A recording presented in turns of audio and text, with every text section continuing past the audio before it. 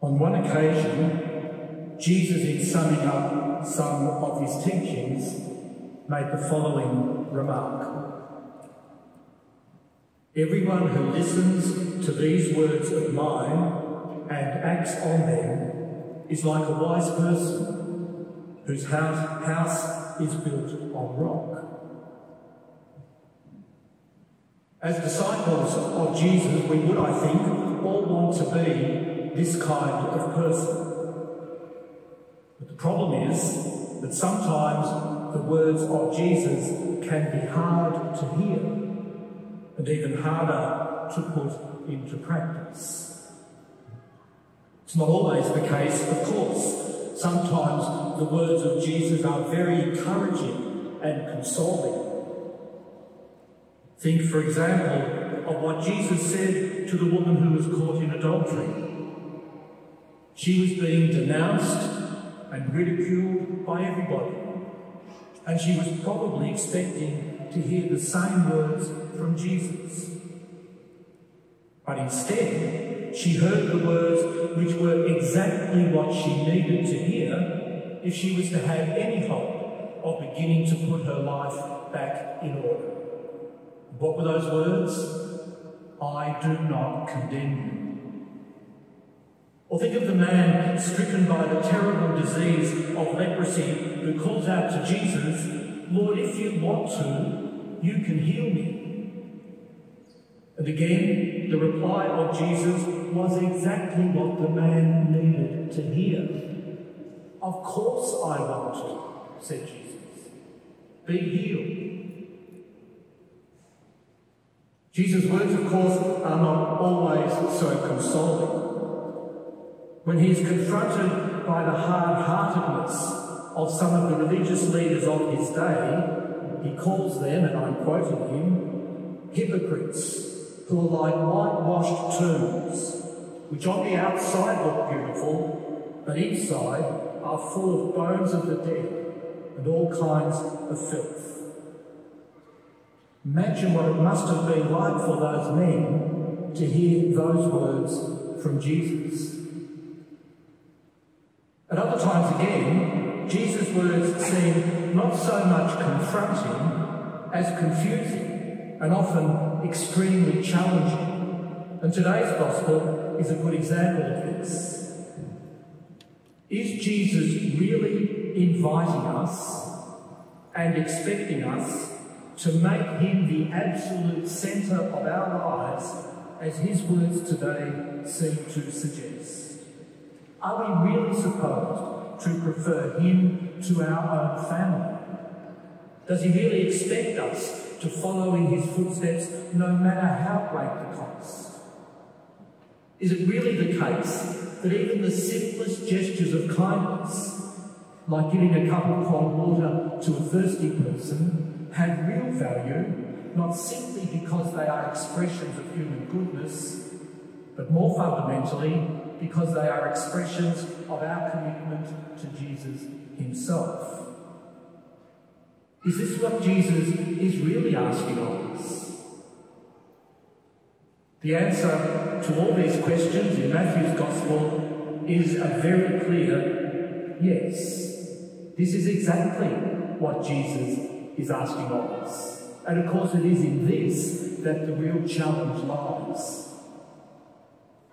It seems to me that what St. Matthew's Gospel is really saying here is that Christianity, our Catholic faith, is not first and foremost about rules to be followed, even though those rules provide very important signposts for our journey through life.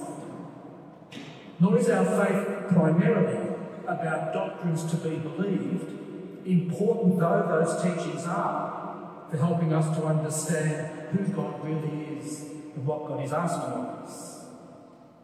No, before being about rules or doctrines, as Pope Benedict said it so often, Jesus, who is the Word of God made flesh for us, so that in coming to know and love and serve Jesus, coming to be his disciples, in other words, we are entering into a profound intimacy with God. Sometimes the rules are difficult to follow because they ask us to live according to values which are more and more regarded by our wider society as old fashioned and sometimes as even damaging to us. Sometimes the teachings seem irrelevant, of no real value to our daily living, and we are tempted to ignore them or even deny them. But if we come to understand that the teachings, if we engage with them, can point to the beauty and mystery of the God who comes among us in the person of Jesus, and if the guidelines and rules can be reconsidered as sure, God given ways of keeping us on the path that leads to the fullness of life, rather than simply being man-made regulations which limit our freedom to do as we please, then these teachings and these rules and regulations might begin to make more sense to us than they do at present. If our fidelity to the Church's teachings and principles is understood to offer us a way to a deeper, truer, more intimate and loving relationship with the Lord Jesus, then they will become for us an energizing source of life rather than a heavy weight which seems to drag us down. There is no doubt, at least in my mind, that the kind of relationship into which Jesus is calling us is challenging and it's demanding. And this, of course, is true of any relationship with another person. Relationships are always challenging and demanding.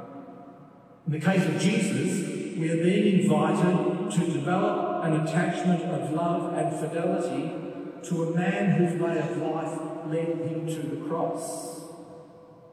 Are we ready to follow this kind of man? In following him, we will be challenged to make the same journey which is to say, to make of our lives a loving gift to others no matter the cost, just as he did. We will find ourselves struggling sometimes under the weight of the cross, again, just as he did. We may well find ourselves abandoned by some of those we thought were closest to us, just as he was. But to the extent that we already live as disciples of Jesus, we will know from experience that living as Jesus lived brings us a peace and a joy which far outweighs the effort required to follow him. As Jesus himself says in this morning's Gospel, those who lose their lives, those who, in other words, hand their lives over to others as a gift of love, and do so for the sake of Jesus, will find their lives again in a new and richer and more fulfilling way. This is the promise of Jesus in today's Gospel. And it's the promise of Jesus, really, which is found on every page of the Gospels. If you want to live life to the full, then allow God to form in you the same mind and heart that was in Christ Jesus, who made his life a gift for the sake of others, and in doing so shows us why God gave any of us the gift of life in the first place. Today we pray that the Spirit of God might mould and shape us in this way, and that we can find it within ourselves to be open to this transforming power of God's Spirit.